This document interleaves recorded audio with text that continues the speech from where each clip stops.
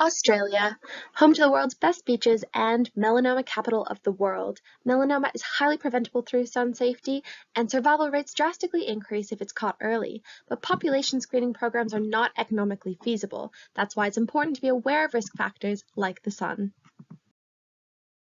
But sun safety behavior isn't the only piece of this puzzle. There's clinical characteristics, where you live in the world, and genetics. When we take all of this together, we can identify those in the population at highest risk, facilitating targeted screening, prevention, and early detection.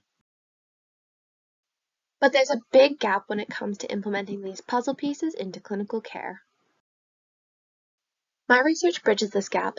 I've developed models for effective risk communication, and I'm evaluating the psychosocial and behavioral outcomes of receiving it, like sun safety and screening adherence, to show the value of this information and bring personalized care to Australians.